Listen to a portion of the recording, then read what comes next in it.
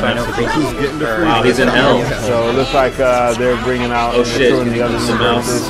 Both Goku looks talking to Frieza and Caulifla. Mr. Oh, uh, Kale, I'm sorry, finally gets here. up I guess Saiyan's. Tired of watching them killing around Super Saiyans. And of course, Frieza wants to show oh, off Golden how Frieza in hell. Frieza is. That's also another point. Even when they used to show the people in hell